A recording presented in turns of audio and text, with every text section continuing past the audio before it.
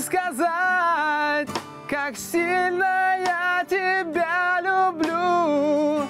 Жить без тебя не могу, по ночам стою и смотрю на луну.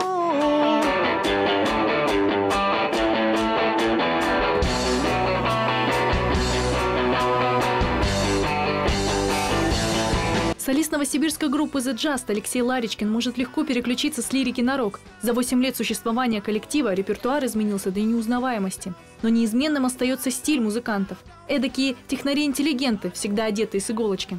Вот, там, Антон занимается там такими сложными э, системами, типа как банкоматы, сети банкоматов там, и так далее, и так далее. Все это управляет, грубо повелевает. Я занимаюсь научными всякими изысканиями там, в институте. Я сижу, пишу эксперименты, расчеты и все такое. Дмитрий Алексеевич имеет свою фирму, которая занимается разработкой компьютерных игр, не только игр, но там разных приложений. С виду скромники, джасты, так называют их поклонники, легко заводят толпу своими хитами. Визитной карточкой группы стал хит, который они написали в ответ на сингл зарубежной группы Maroon 5.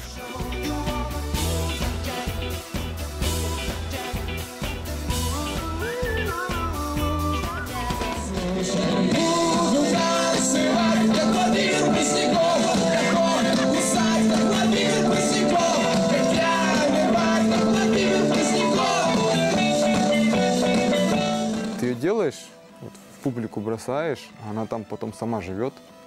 Кто-то напевает, кто-то как-то из этого что-то пытается вывести там, и так далее. И, и ты уже не властен над этим, оно там само ходит. Сейчас группа состоит из ударника, клавишника и гитариста. Как у всех музыкантов, у ребят есть истории, которые они вспоминают с улыбкой. Например, во время одного концерта в Красноярске отключилась аппаратура, и выступление оказалось на грани срыва. Выключились клавиши, что делаем? Леха рубит на гитаре, на еще сильнее струны рвутся. Давай пошли дальше, главное драйв. В ближайшее время группа планирует выпустить новый альбом и клип. Когда состоится премьера, пока тайна. Но одно известно точно – ребята постоянно в творческом поиске и не собираются останавливаться на достигнутом. Очень много музыки становится, и непонятно, что с ней делать. Она стала всем доступна, она стала, э, грубо говоря, в каждом чайнике. И как, как в этом всем что-то сделать уникальное? Они все уникальны.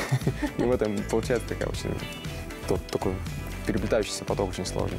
И вот мы пытаемся в этом разобраться, и в том числе через музыку, через нашу вот джастовскую сущность.